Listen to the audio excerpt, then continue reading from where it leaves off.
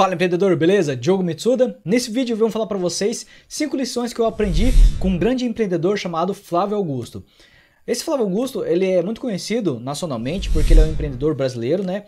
E ele é o dono da WhatsApp. Antigamente ele vendeu essa empresa e agora comprou novamente da Abril por milhões de reais. E ele também é dono do time lá nos Estados Unidos, o Orlando City. Ele é um grande empreendedor, um visionário, na verdade, que eu aprendi muita coisa ao estudar ele. Eu vou mostrar aqui alguns livros que ele tem aqui também, ó. Flávio Augusto, a Geração de Valor 2 que eu aconselho vocês lerem também, porque você vai abrir um pouco mais a sua mente sobre empreendedorismo. Mas antes de tudo, eu quero deixar um recadinho para você. Fala empreendedor, beleza? Se você busca conhecimento a trabalhar com marketing de afiliados, ou até mesmo se você já trabalha e não tem resultados e você queira ter resultados constantes, eu fiz uma videoaula passo a passo de como você pode ter resultados como esse que eu vou mostrar na tela do meu computador.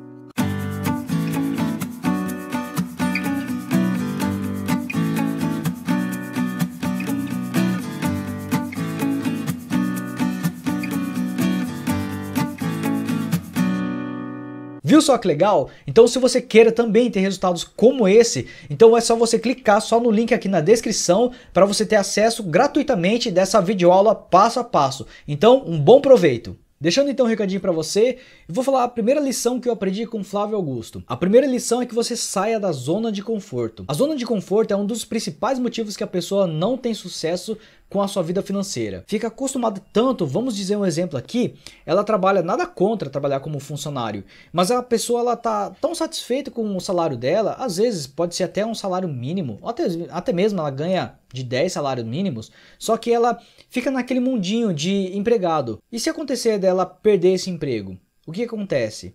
Ela vai ficar sem dinheiro. Então você tem que sair dessa zona de conforto. Eu, antigamente, eu era funcionário. Então eu comecei a perceber que eu tinha que sair da zona de conforto. E que eu comecei a pensar? Que a única forma seria empreender.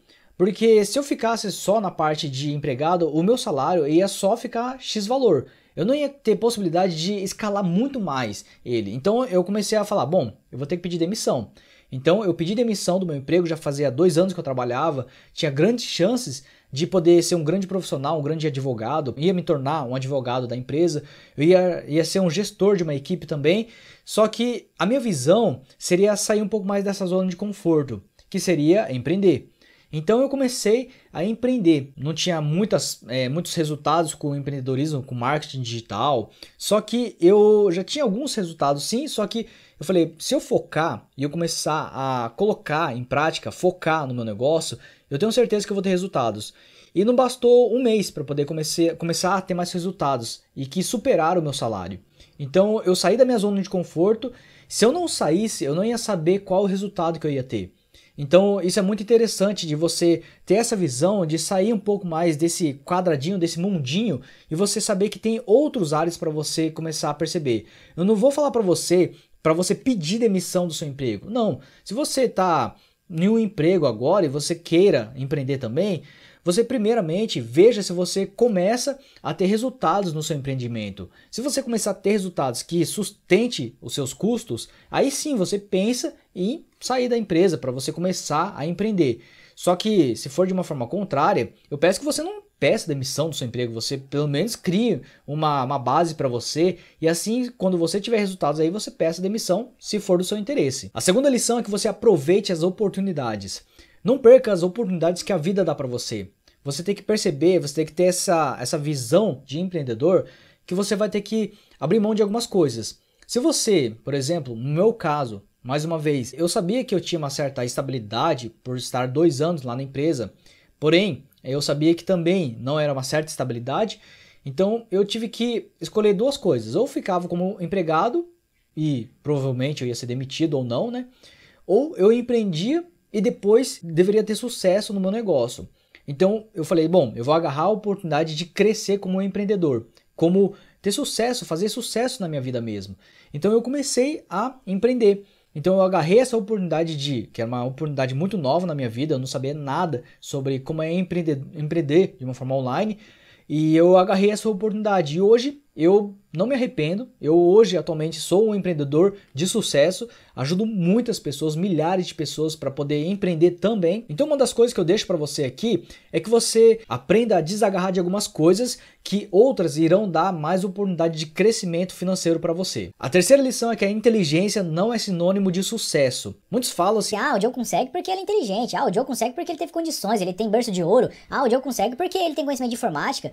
Nada disso, pessoal. Eu não tinha conhecimento. Nada disso, pessoal. Eu não tinha conhecimento de marketing digital. Eu não sabia como trabalhar com marketing digital. No máximo, eu tinha uma graduação em direito que não tem nada a ver com marketing digital.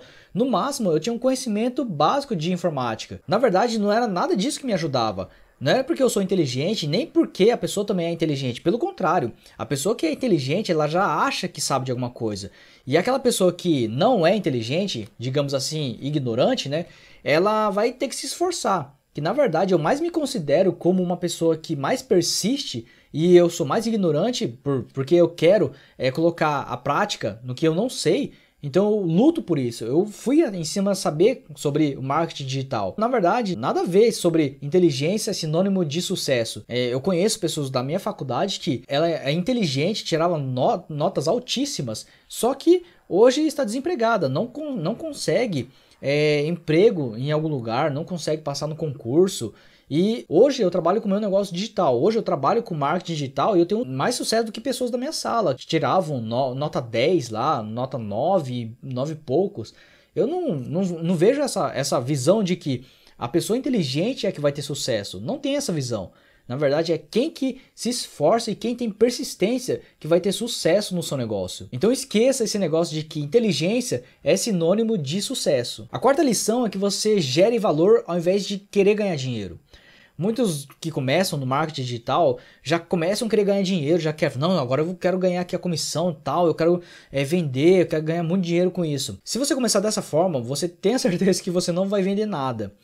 Eu comecei sem nenhum resultado. Se vocês verem os primeiros vídeos que eu comecei aqui no meu canal, eu comecei mesmo a criar valor. Eu comecei a falar para as pessoas sobre o que, que seria marketing digital. Eu comecei a estudar e comecei a repassar esse conhecimento. Eu comecei a, a comprar livros. Se vocês verificarem sempre nos meus vídeos, eu tenho muitos livros atrás e aqui muitos desses aqui do Flávio Augusto que eu também adquiri, que muitas das pessoas que sabem que eu estudo, muito dos meus casos de sucesso seria porque eu gerei valor para minha audiência. Eu não apenas quis vender o curso, não quis vender a X negócio, não quis vender X outro negócio, apenas repassei conhecimentos e experiências que eu aprendi com empreendedorismo.